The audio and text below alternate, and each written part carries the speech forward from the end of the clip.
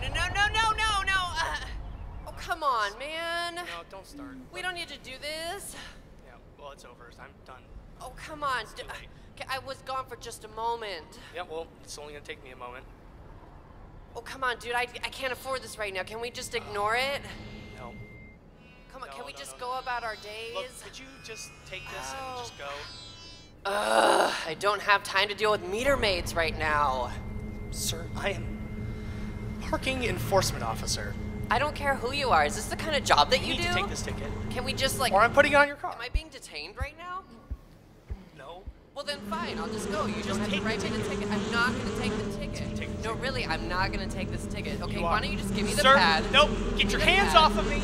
Do not touch me. I'm not gonna. You can take. Take the damn ticket. Idiots. I'm not gonna take the ticket.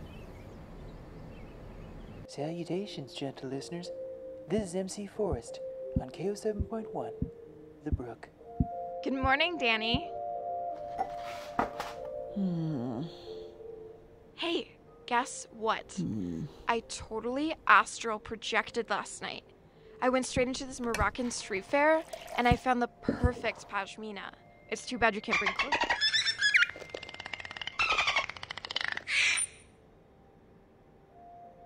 Next up on the mm-hmm. Morning Babble is Guided Meditation by yours truly. Enjoy.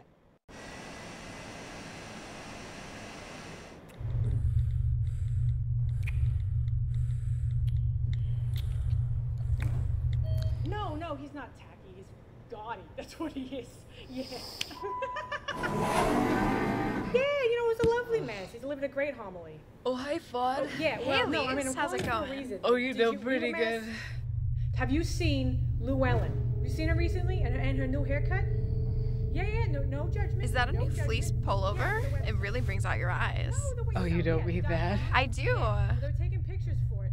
Really? see the three pieces Yeah, you look like, I great. don't need to be in the same Stop. picture as No, you I wouldn't look call it a lovely good. mass. I had aged a little. Dude.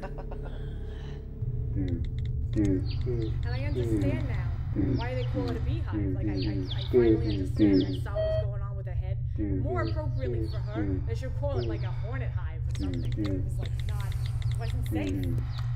She can like, she can have her hairstyle and live her life. but it's just Maybe like, maybe like seven pews away. oh my god, Gloria!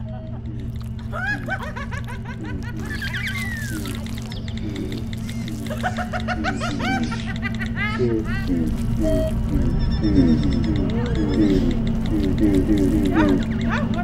not judging. No, I'm not judging.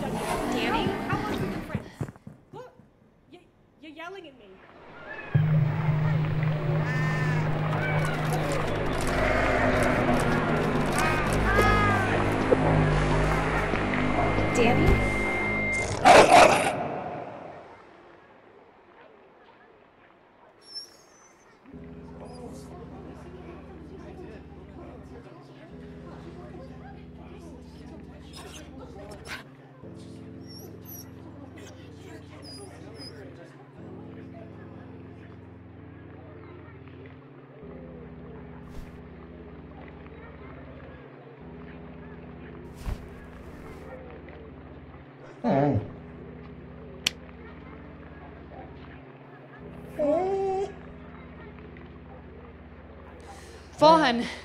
I'm sorry. Okay, you know I didn't mean that. You know what?